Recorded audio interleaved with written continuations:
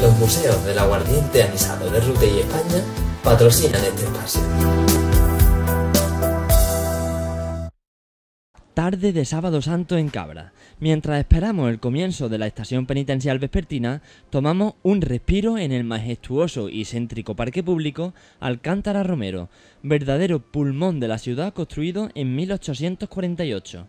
Aquí se conjugan a la perfección historia, vida, color, poesía y arte. A continuación, nuestros pasos se dirigen callejeando por la localidad hasta las inmediaciones de la iglesia matriz parroquial mayor de Nuestra Señora de la Asunción y Ángeles, situada en el antiquísimo y bien conservado barrio medieval de la villa. Desde aquí partirá, en unos minutos, la comitiva de penitencia. La Semana Santa de Cabra fue declarada de interés turístico nacional en el año 1989 e incluida junto a otras ocho ciudades del centro de la región en la ruta cultural y turística Caminos de Pasión.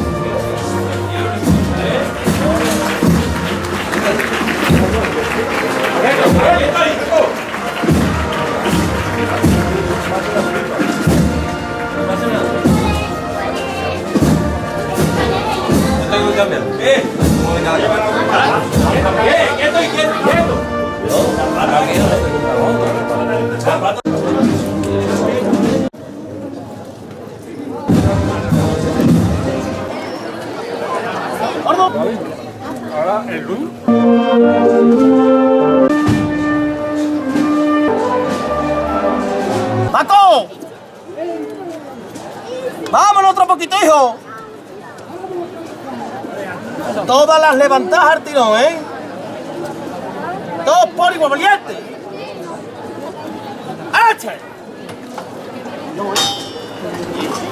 La Real Hermandad y Cofradía de Nuestra Señora del Socorro es constituida como tal el 25 de febrero de 1965, desfilando por primera vez en la mañana del Viernes Santo de ese mismo año. Y en 1968 se instala definitivamente la estación de penitencia en la noche del Sábado Santo. Nuestra Señora del Socorro, titular de la hermandad, es un busto o torso de medio cuerpo tallado en madera, estofado y policromado que se adapta para su salida procesional. Restaurada en 1979, en 2006 fue sometida a un minucioso estudio técnico y a trabajo de conservación y restauración.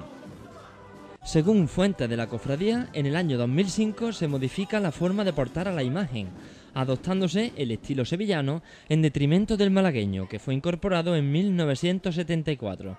Así, los tradicionales portadores, más de 50, pasaron a ser costaleros. De esta manera, se perdieron momentos singulares en la estación penitencial, como el característico modo de andar o las levantadas del trono en la Plaza de España mientras una paloma alzaba su vuelo.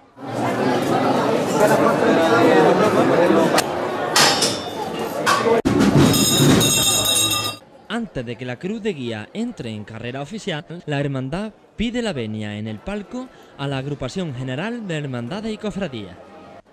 Asimismo, como hemos visto anteriormente, a lo largo de la carrera se encuentran instalados de forma extraordinaria varios puntos de luz de gran potencia para realzar la belleza y singularidad de este recorrido oficial.